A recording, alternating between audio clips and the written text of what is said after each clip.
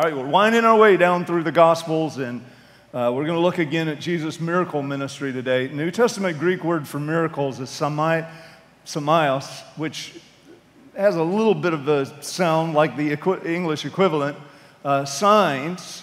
And as with all signs, miracles are never about themselves, they're about whatever they're pointing toward. And in Jesus' case, they're pointing directly to God.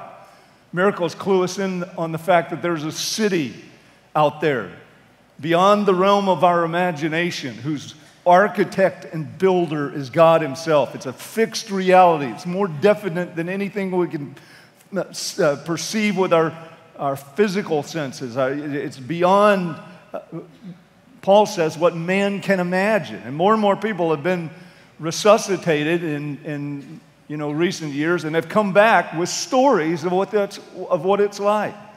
Peggy Noonan once wrote that she thought miracles existed in part as gifts and in part as clues. There's something beyond the flat world we see. If miracles exist at all, they exist not for their own sake, but for us, to point us towards something beyond, to someone beyond. Now, that quote is from a book called Miracles by Eric Metaxas. It's full of miracle stories of people that he knows personally and trusts.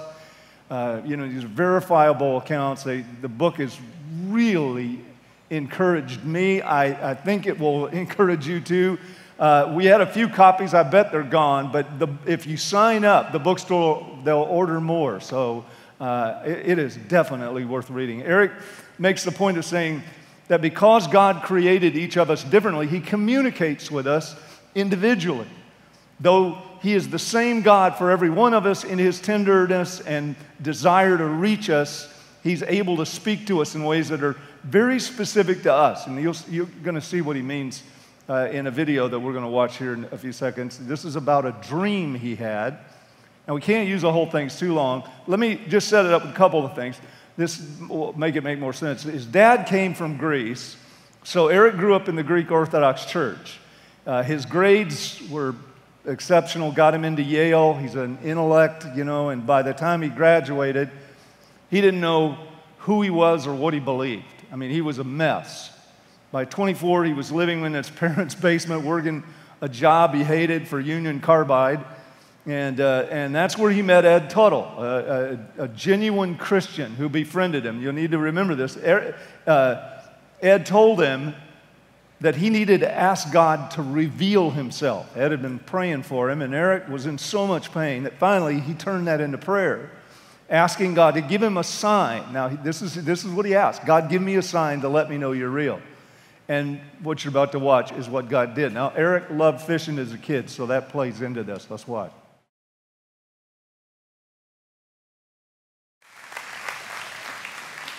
You know, I just think it's so important what we're talking about today. I want to just stop for a second. and I just want to ask God to do something. Lord, uh, I'm so aware that we don't have the ability to see beyond what you illumine. And so today, I am asking you to just saturate the atmosphere in this room and open our blind eyes and our deaf ears and give us an ability by your Spirit to hear your voice, to see things we've never seen. Holy Spirit, come. Right now, I'm asking for it. I'm asking for your presence and activity to be very, very much experienced and felt here. And I ask that in Jesus' name. Amen. Amen. To be born again is to go from darkness to light. The human heart changes. It's a supernatural, radical transformation that is absolutely miraculous. Jesus, uh, when he's here, he's, he's opening blind eyes and deaf ears. He restored muscle to shriveled limbs and breath to dead bodies. He spoke to storms and they stopped. He spoke to food and it multiplied. Demons freaked out and fled in his presence. And people flocked to wherever he was to see it for themselves and get their own miracle. But the why of his miracles was to get people to the what? To his message. The gospel was Jesus' number one priority. It's the core statement he makes here in John 3:16. Let's read this together uh, right off the screen. God so loved the world that he gave his only begotten son, and whoever believes in him shall not perish, but have everlasting life. The gospel is the good news about Jesus becoming one of us, about him tackling our deepest need. We, need, we were dead in our sins, but he is the resurrection and the everlasting life. Signs point us to the giver of life. These miracles point us to Jesus. Historians say in the early church, uh, from 100 to 400 AD, that's a considerable amount of time. The biggest factors leading to the massive spread of Christianity were all the healings and exorcisms taking place. And I believe that will once again characterize the church before Jesus returns. The Bible says that God is going to pour out his spirit in that one generation in an unprecedented way. And I believe we have that yet to come. So, with Jesus' supernatural ministry as our focus, we're going to plug back into where we left him two weeks ago. Uh, he's in the region of Samaria. He traveled and taught for some months in the south and in and around Jerusalem. You're seeing it there on the maps. And, and now he heads north. Uh, and John 4 45 says, When he arrived in Galilee, the Galileans welcomed him. They had seen all that he had done in Jerusalem at the Passover festival. Man, these people travel. Have you noticed that? I mean, they all went down to Jerusalem, for they had, they had also been there. Once more, he visited Cana in Galilee, where he had turned the water into wine. And there was a certain uh, royal official whose son lay sick at Capernaum. When this man heard that Jesus had arrived in Galilee from Judea, uh, he went to him and begged him to come and heal his son who was close to death. Now, I'm sure you can imagine the desperation this dad is feeling. I mean, there is nothing more desperate than when your child is sick. Jesus, I'm about to lose my boy. You know, he's, he's, he's going to die if you don't come and heal him. But we got to hurry, please. He's, he's like 15 miles away, and this is all going to be done on foot. And Jesus says something very curious. He says, Unless you people see signs and wonders, you'll never believe. Wait, What's, what's that got? What's believing got to do with it? I'm begging you, sir, come with me before my child dies. Verse 50, Jesus replied, Go, your son will live. He's saying, Here's the test. I want you to believe. I want you to know that I'm a, my authority is greater than time and distance. Just believe in who I am. I'm your child's creator. I'm, I'm the master of physics. I don't need to go. And the man took Jesus at his word he believed and departed. While he was still on the way, his servants met him with the news that the boy was living. When he inquired as to the time when his son had got better, they said to him, Yesterday at one in the afternoon, the fever left him. Now, this may seem subtle, but yesterday means the conversation with Jesus happened the day before, which means he didn't just talk to Jesus and rush home to be with his son, because you know, could have gotten back probably by dark. Instead, he spends the night there. Maybe he thought, thank you. You know, my son's going to be okay. You know, since I'm already here, I may as well, you know, take care of some business before I leave town. Because it, it, it's apparent here that anxiety's just, you know, drained right out of this guy. He's thinking, my son's healed. Finally, life can return to normal. He trusted what Jesus said. He hadn't seen it with his eyes yet, but he was at peace because he believed Jesus' word. And that's exactly the response the Lord is looking for in us. He wants us to respond to him with faith. He tells us, if I've said it, you just believe it. I'll speak to that storm in your, in your soul and speak peace to it. But you just go about your business. I got this. So often, His Word is all we've got. Ever, everything looks and feels the same, and all we can do is rest in what He said. And I, uh, uh when I was a kid, I grew up singing that. Uh, I guess it was a hymn, you know, trust and obey, for there's no other way to be happy in Jesus but to trust and obey. You know, that's a, that's a real easy song to sing. That's a real hard thing to do, right? I so want to help God out with all my worrying, you know, because I think worry helps things.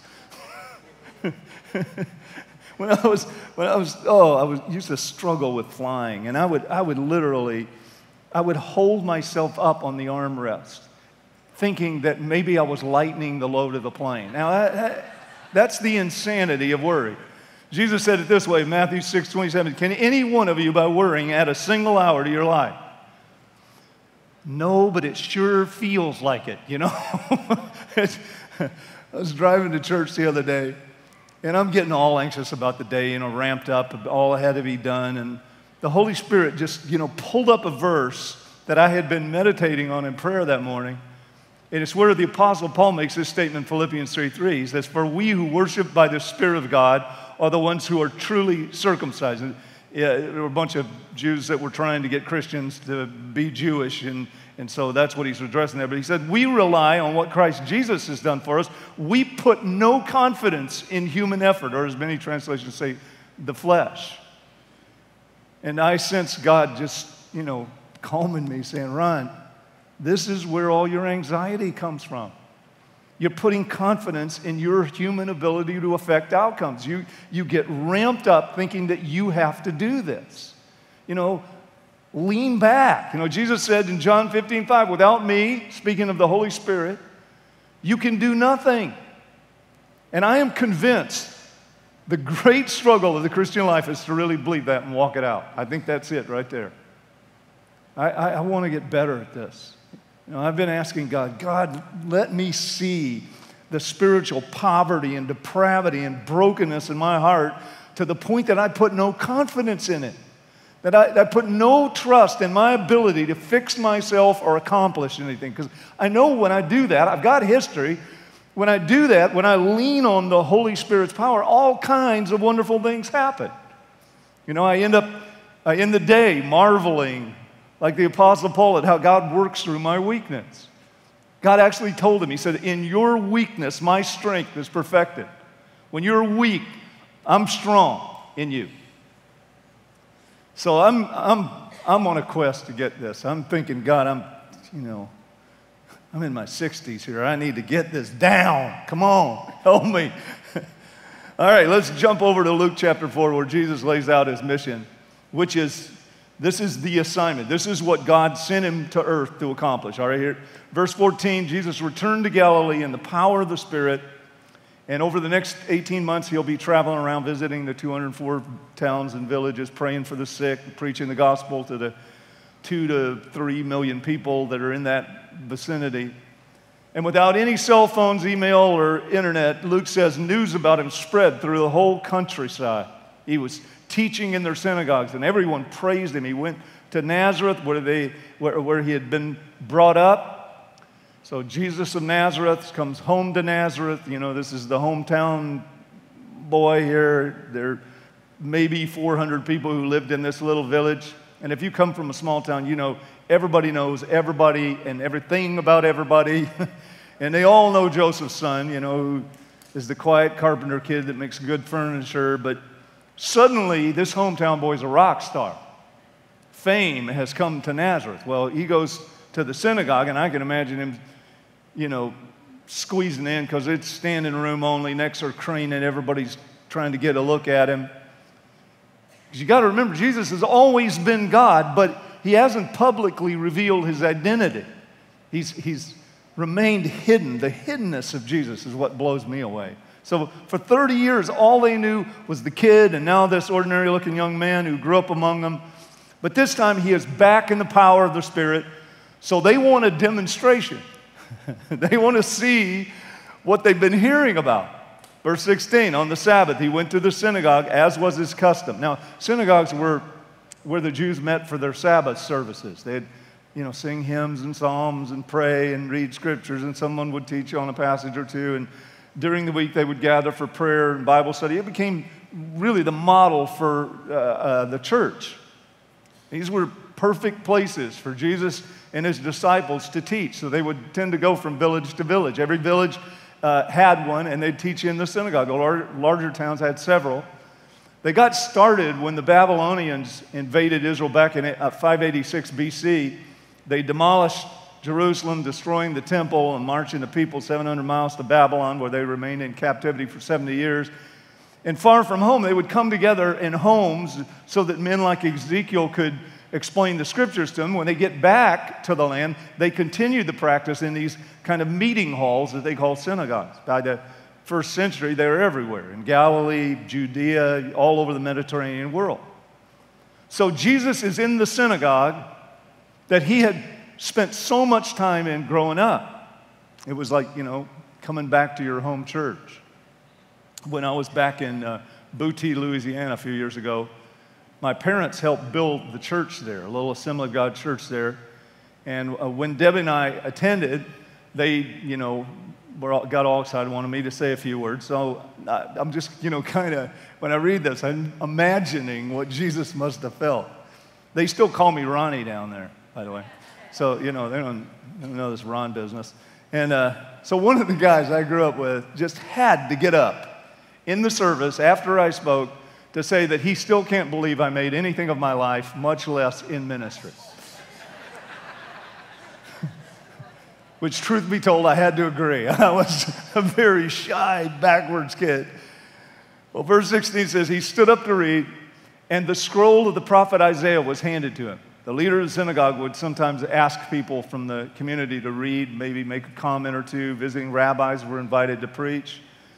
So every eye is on him as he unrolls the scroll to find Isaiah 61. Now, remember, back then, the, you didn't take the Bible home, the Bible stayed in the synagogue. And so, you know, uh, this is Jesus' story. And I'm sure he had read this like a thousand times right there in this very room. But he reads it now publicly with authority. The Spirit of the Lord is upon me because he has anointed me to preach the gospel to the poor. He has sent me to heal the brokenhearted, to proclaim liberty to the captives and recovery of sight to the blind, to set at liberty those who are oppressed, to proclaim the acceptable year of the Lord. So, this is his mission statement. If Jesus had a job description, that's it right there. God the Father sent his Son to the poor, broken captives, to the blind and the oppressed, because these people need a Savior. And his main point is they know it. They know they need his help. So we're going to break that down. Let's mission one. Jesus came to preach the gospel to the poor. And we know from his Sermon on the Mount, he's not talking about money. This is about being poor in spirit because without God, we are all spiritually bankrupt. We are destitute. Isaiah 64 6 says, The very best we've got is like filthy rags. All our efforts combined are nowhere close to good enough, even when they're better than everybody else's. Imagine you're the picture of health and prosperity. You know, you're feeling good, you're looking good, you know, your friends and coworkers envy your perfect life. You've got a great wife and kids and an awesome job, expensive house and cars and you take fantastic vacations. You even got a six pack. yeah, there's a little twinge of pain in your gut now and then, but it, it's nothing. Not, you know, not like you need to see a doctor for it. But if you only knew that that twinge was actually stage four cancer and your perfect life was nothing but an illusion, I mean, you'd be at the emergency room right now. When these religious guys criticized Jesus for hanging out with outcasts and sinners in Luke 5:31 he told them, "Look, healthy people don't need a doctor.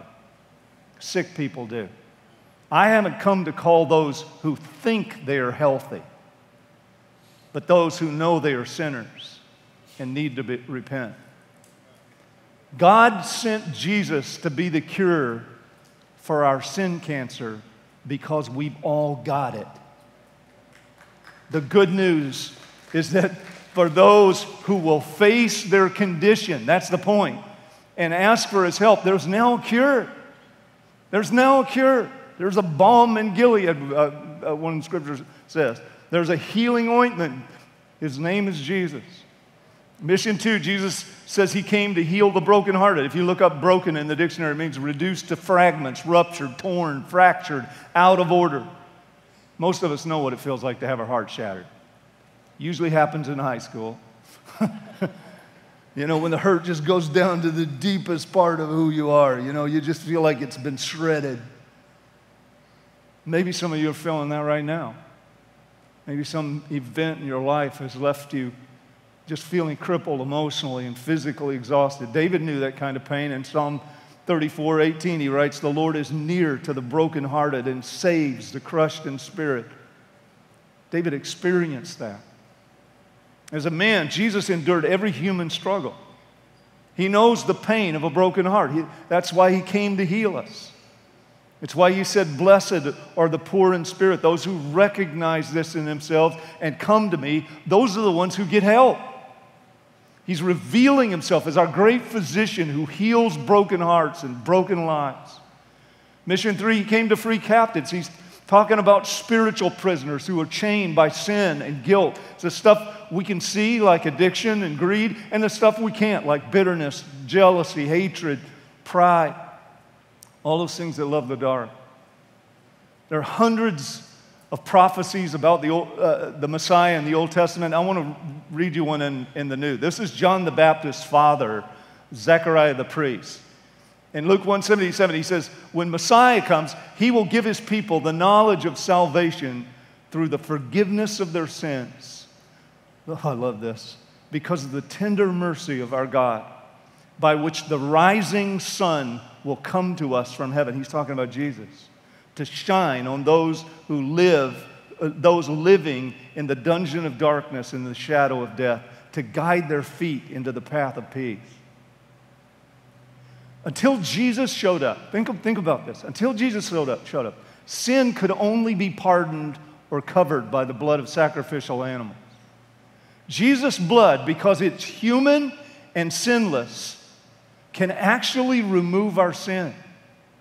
Jesus' death on the cross, and, and we get this in, in the New Testament, was the perfect sacrifice. It was, it was what all the Old Testament sacrifices were pointing to. Jesus' sacrifice was once for all time and for all people. In his sinless body, oh, this is so powerful. God was judging our sin. So, as Paul puts it, God can now be right in making us right. Hebrews 10:14 says, "For by that one offering he, Jesus, forever made perfect those who are being made holy." That's us. The blood of Jesus cleanses us from all our sin as we learn to walk in his righteousness. That's what he's saying. It totally removes the stain of our sin. Luke 4:18 says he came to bring release to the captives. And it's interesting, the, the, the literal Greek word release, that there, means forgiveness. And that's the way a spiritual prisoner is free, to have his sins forgiven. Messiah will release the captives by forgiving their sins, which opens prison doors. It opens the prison of guilt and self recrimination and all the horrible stuff that sin does to us. Number four, he came to restore sight to the blind. Again, this is a reference to spiritual darkness, being unable to see and understand the truth. This is such a revealing statement. Paul says this in 2 Corinthians 4 4. Satan, who is the God of this world, has blinded the minds of those who don't believe. They are unable to see the glorious light of the good news. They don't understand this message about the glory of Christ, who is the exact likeness of God. For God, who said, Let there be light in the darkness, has made this light shine in our hearts so we could know the glory of God that is seen in the face of Jesus Christ. You know, I have people sometimes say to me, uh, you know, I've been talking to my friend about the Lord, and it's like they're just blind. It's like they just can't see it. They just, you know, I explain it to them, and it's like they're deaf. They just can't hear it. And I said, well, yeah, that Bible says that. So what do I do? You pray that God removes the blindness, that God takes away the deafness, that God opens their ears and opens their heart to receive the truth. Jesus restores our capacity to see and know God. The Bible doesn't make sense until you're born again. That's what he told Nicodemus. We remember reading that story. It's not going to make sense to you until you're born again, until something happens inside. Jesus is eh, the only one who can open blind eyes to spiritual reality and truth. David understood that back in the Old Testament. He said, It's only in your light that we see light. All right, one more. He came to set at liberty the oppressed. This is the person who's overwhelmed by life, maybe by an abusive relationship or a chronic illness, and they're just, or they're buried under a mountain of debt or smothered by paralyzing depression to the point where life's just impossibly hard. Messiah comes to the weary and burdened and gives them rest. He's gentle and humble in heart, and in him they find rest. Now, Jesus is standing here in his hometown synagogue reading from Isaiah about this deliverer that God has sent to the poor, the blind, the oppressed prisoners, to make them spiritually rich, to bring the kind of forgiveness that sets them free from a prison of death and hell, to give them sight and rest for their tired, stressed out minds. and, and then he says it. Oh boy. I'm just thinking, you know, we all think, I'd love to have been a disciple. Whoa. if you think about what they were, the changes he put them through, he says, so Jesus is teaching all this. He says, today, this scripture is fulfilled in your hearing. Isaiah's talking about me. I'm your Messiah. I'm the day of salvation has come. Ta-da. Now that is an outrageous thing for Joseph's son to be saying. You know, but, you know, he had worked all those miracles in Jerusalem that they had, you know, seen, and some of them had seen, and others had heard about. And at this point, they're willing, okay, we'll let this slide. You know, they're, they're just anxious to see what he can do. They're thinking, you know, you're home now. Let's see what you got. Come on. Give us your best. We'll look at the prophecy stuff later, you know. In verse 23, Jesus said, Surely you'll quote me this proverb, or you'll quote this proverb to me Physician, heal yourself. And you will tell me, Do here in your hometown what we've heard that you did in Capernaum. He said, I know what you guys want, but it's not going to happen.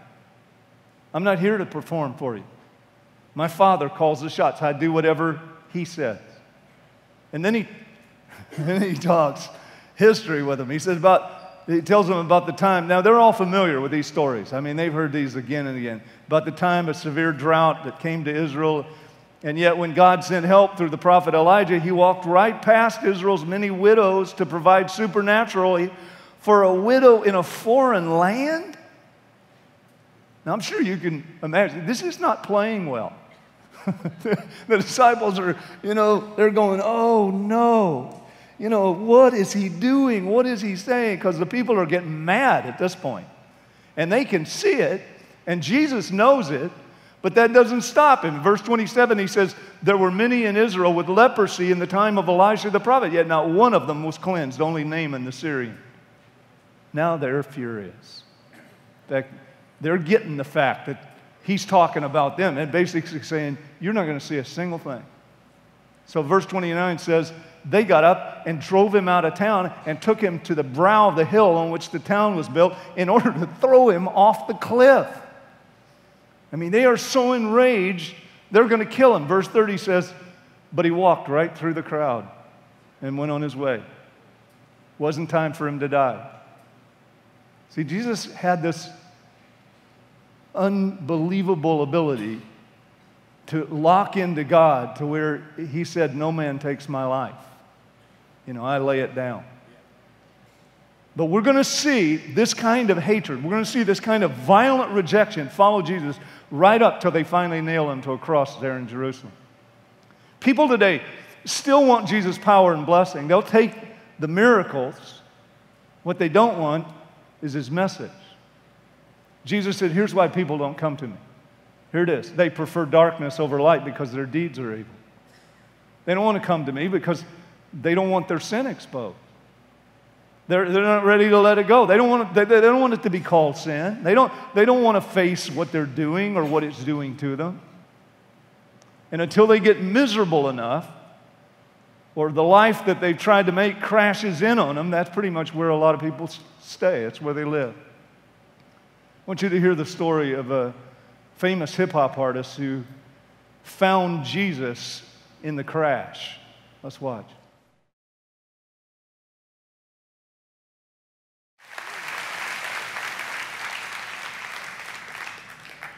I know there are some of you sitting here this morning and you're in a dark place right now. You've made some really bad choices looking for a place to fit in and be significant and like you're worth something, but now something's happening in your heart. You're ready to say, God, get me out of this. Get me out of this. It can happen for you right here. You don't have to have a car wreck. The Bible says today is the day of salvation. You know, this might be your very last opportunity to pull out of the death spiral you're in. This might be it. Today, Jesus wants to bring you into the, the light and illumine you, but only you can let Him. Only you can, and until you do, you will remain in that prison, living under the wrath of a holy God that you'll one day stand before as king and judge. Hell is way too hot, and eternity is way too long for you to gamble with your eternal soul. Don't do it. Don't do it. Stop it right here. Right now. You can let Jesus be your substitute and take away all your sins. Right here. You can be born again. You can become a member of God's family. It starts with surrender. You come clean. You acknowledge that you're not just a person who sins occasionally. You're a sinner at the core of your being, and you're in need of saving. That's where it starts. Jesus came to save sinners. He didn't come to call people who think they're already good enough. I mean, if you don't know that you've got the cancer, then you're not going to come to Jesus for the cure. You need to admit your brokenness. You need to admit where you're at. So I want to just pray for you right now. I want you to bow your heads with me. Father, I thank you for your presence here this morning. I thank you that you're in this room right now speaking to us. You loved us so much that you watched your only son die on a cross. Jesus, you came and you laid down your life. Pray that everyone sitting here who doesn't yet know you, right now, that the Holy Spirit would be active and at work let them see their brokenness. Let them see the spiritual depravity that's at work within them so they'll come to you for healing and forgiveness. Holy Spirit, would you convict them of their sin? Convince them to believe in the only one who can save them. Help them receive the love that you offer them. And I ask that in Jesus' powerful name. Now, with your heads bowed and your eyes closed because I don't, I don't want people looking around and I really don't want anybody leaving right now. This is too important. This is eternity is at stake right here. How many of you sitting here would say, Yes, I want Jesus. I want my sins forgiven. I want to go to heaven. I, I want to be born again. I want this relationship you're talking about. If you want your sins forgiven, if you want Jesus Christ to come into your life, if you want to know that you will go to heaven when you die, wherever you are, I want you to lift your hand and I want you to keep it up for a few minutes because I'm going to pray for you. All over the building, hands are going up. All over. All over. If you have any insecurity about your salvation, now's the time to just say, That's me. Pray for me. Pray for me. All over. See hands all over. All right, now I'm going to tell you what we're going to do. Jesus said, If you'll confess me before men, I'll confess you before my Father. This has got to be more than you just saying, you know, just pray for me. Because I'm going to lead you in a prayer. But to do it, I want you to do what I think Jesus would say to you. I want you to stand right where you are. We're going to we're going to pray right here together, all right? All over the auditorium, hands are raised. Stand with me right now. No one's looking around. Just stand with me, all over the audience, all over the audience. Because God is going to do a work in hearts right here. All over the audience, people are standing. Now, I, there's a bunch of others of you that need to be standing right now. This is it. You're going to look back on this day. This is going to be the day where your eternal life shifted. This is it. This is the moment. And God has been at work in this place this weekend. We had some people coming to the Lord in, in, in both of these services where God's presence was there. Now, I'm going to lead you in a prayer, and I'm going to just have you repeat this with me, all right? Just, just want you to say this. Now, I'll, here's the thing I want you to say this like you're a drowning person, like you are reaching out to Jesus for his help. We're going to say this with you, all right? Everybody, just want you to repeat these words with me. Lord Jesus, I know I'm a sinner, but I know you're a Savior. You died on the cross, you rose from the dead, and you did it for me. Jesus, would you come into my life? Would you be my Savior? Would you be my Lord, my God, my friend? Fill me now with your Holy Spirit. I surrender my will to yours. I come under your leadership. I choose to follow you now with all of my heart with all of my soul, with all of my mind and strength. I want to really know you, Lord. Pray that in Jesus' powerful name.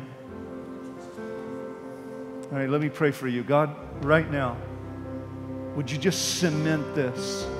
Come, Holy Spirit, and do what you love to do. Reignite the Spirit in every person that's standing here. Let them en- encounter your love. Make it real, Lord. Make it real in the name of Jesus. Let them encounter you right here, right now.